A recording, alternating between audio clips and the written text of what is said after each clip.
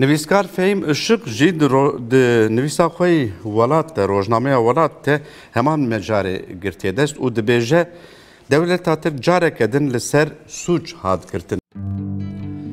Dewleta Tirk li Zaxoya Başûrê Kurdistanê qetliamek mezin pêk anî. Li gundê Perexê neh geştyar bi topbaranên leşkerên dewleta xwînxwar hatin şehîdkirin, herî kêm bîst û sê geştyar jî birîndar bûn. Piştî bombebaranê bi çend kesên herêmê re axivîm. Hinek ji wan nexwestin navê xwe eşkere bikin.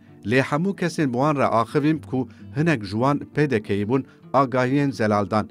Yek ji van kesên ku pê re axivîm Qedrî Perexiyê xwediyê seyrangeha ku hatiye bombebarankirin bû. Dema ez pê re axivîm hê di şoka bûyerê de bû. Dîsa jî bi awayekî gelek zelal got ku bombe ji baregeha Tirkan hatiye avêtin. Li gorî Qedrî Perexî leşkerên Tirk bi çar topan li seyrangehê û dewrûbera seyrangehê dane. Kesek din yê ji gund jî nexwest navê wî eşkere were nivîsandin lê ew jî bi zelalî behsa êrîşê kir digot, Ji ber topbarana leşkerên Tirk gundî ji mêj ve ye nikarin biçin ser zeviyên xwe. Ji xwe berê topbarana dûmahî leşkerên Tirk sê roj li ser hev zeviyên Perexê topbaran dikirin. Gundî ji ber topbaranê nedikarîbûn biçin ser zeviyên xwe. Min jê pirsî gelo nedizanîbûn ku li wan ciyên tên topbarankirin geştiyar hene? Bersiva wî zelal bû. Balafirên keşfê her tim li ser herêmê digerin. Vê herêmê gav bi gav zanin. Çawa nizanin kesên sivîl û geştiyar li van dera ne? Bi zanebûn nêdan.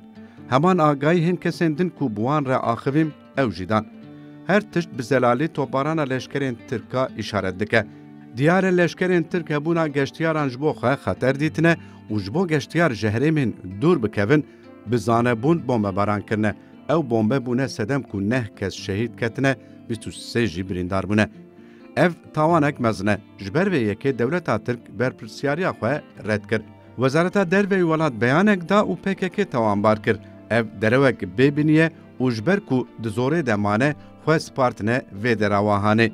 Mixabin hin berpirsyariyên herêmê û hin PDK'yî jî di beyanên xwe de helwesta dewleta Tirk parastin. Sefîn Dîzayiyê berpirsê PDK'ê ku têkiliyên Tirkiye ew bi rêve dibe, beyanek da û daxwaz kir ku Tirkiye û Iraqê bi hev re heyêtek lêpirsînê damezrînin. Ango daxwaz kir ku qatil bi xwe êrîşê lê bikole. Ji bilî hin berpirsên PDK'ê birêz Mesûd Berzanî jî tê de hemû hêzên Iraq û Kurdistanê Tirkiyê bi tundî şermezar kirin. Ji cîhanê jî dengek bilind derket. Di vê were dîtin dengê herî mezin ji gelên herêmê derket.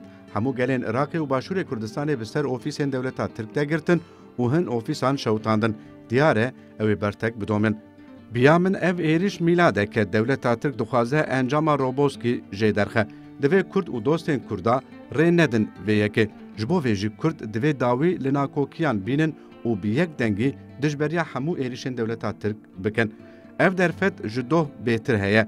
Eger vê nekin, bi taybet PDK'î bi yek dengî dijberiya êrîşan nekin, ew ê dewleta xwînxwar Careke din xwe ji van tawanan xelas bike.